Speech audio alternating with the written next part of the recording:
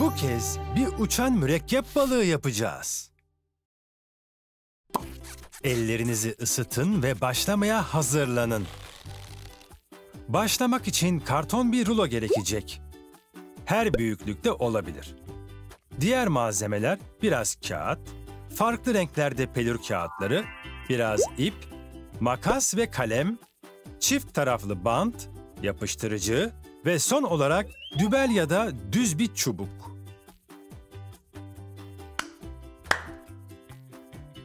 Pelür kağıdı ile başlıyoruz.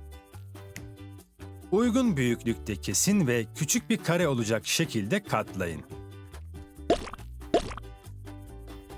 Makası alın ve yuvarlak şeklinde kesin. Sonra yuvarlakları ortadan kesin. Şimdi bir sürü yarım daireniz oldu. Hepsini toplayın ve diğer renklerle de aynını yapın. Karton ruloyu ve bandı alın. Ruloya biraz bant yapıştırın ve bandın diğer kısmını çıkartın. Yarım daireleri bandın üzerine yapıştırın.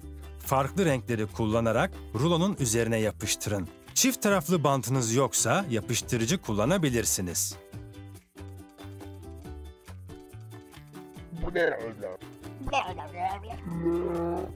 Güzel bir soru canavar bitki. Evet, istediğin rengi ve tarzı kullanabilirsin. İşte renkli şeritler ya da beneklerle süslenmiş düz bir renk.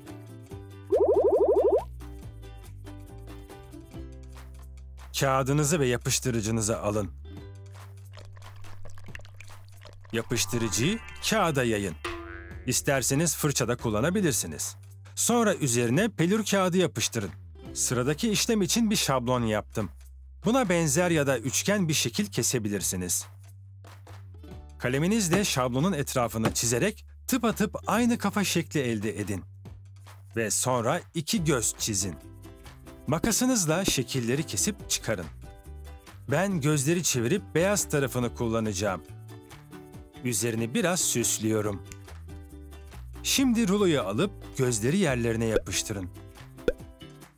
Kafa parçalarından birini ters çevirin ve gövdenin altına koyun. Diğer parçayı alın ve bu uçları yapıştırın. Sonunda böyle görünecek. Dışarıda kalan uç kısımlarını kesin. Hmm, sanırım bir şey unuttuk. Doğru ya, dokunaçlar.